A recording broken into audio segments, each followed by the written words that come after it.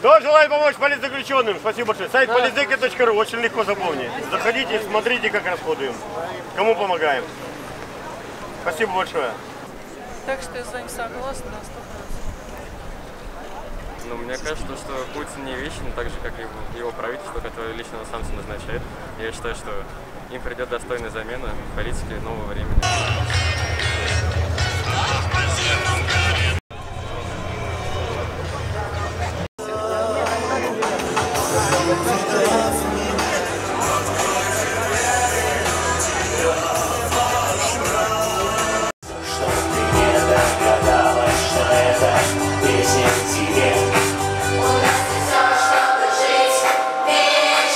Конфедерация труда России считает, что э, повышение пенсионного возраста не обосновано ни демографически, ни, ни экономически. Э, представители правительства говорят о том, что у них якобы есть документы по обоснованию, но не предъявляют.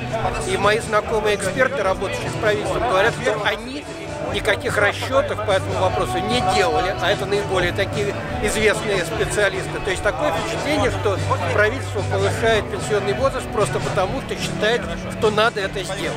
Мы против налогового грабежа. Мы против пенсионной реформы.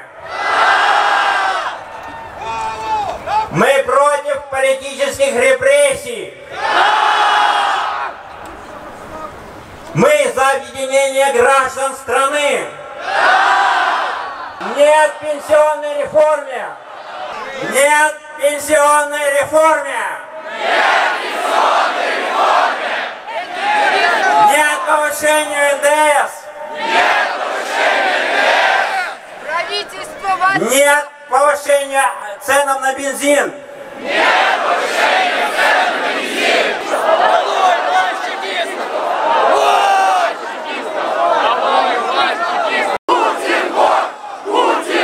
Да, да, страна власти воров.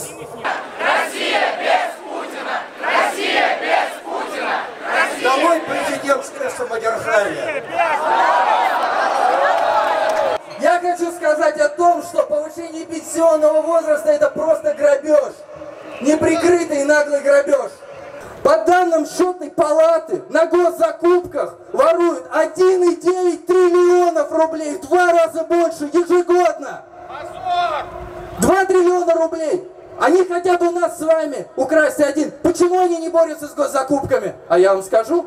Потому что там уважаемые люди Ротенберги всякие мосты строят. Нельзя у них отнять. А я считаю, что наши пенсионеры достойны этих денег больше, чем Ротенберг. Вы согласны? Я не хочу платить Путину, я хочу проголосовать за вас и развивать свою страну вместе с вами. Ведь Россия – это мы! Россия – это мы!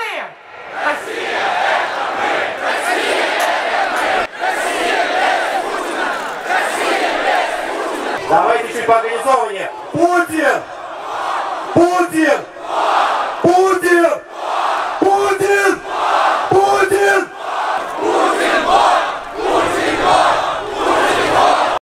Этот закон противоречит Конституции, потому что он умаляет право гражданина на социальное обеспечение по возрасту. И я считаю, что правительство, которое нарушает Конституцию, основной закон Российской Федерации, оно должно быть распущено немедленно. Государственная Дума которая голосует за антиконституционный закон, должна быть распущена немедленно. И если президент Российской Федерации осмелится подписать этот антиконституционный закон, в отношении него должна быть инициирована процедура импичмента за нарушение Конституции, за распуск правительства, за распуск Госдумы, за импичмент президенту, если он подпишет этот закон. Давайте бороться! Мы победим! Ура! Государство нам должно! Оно должно вернуть нам все, что они наворовали под видом пенсионных накоплений.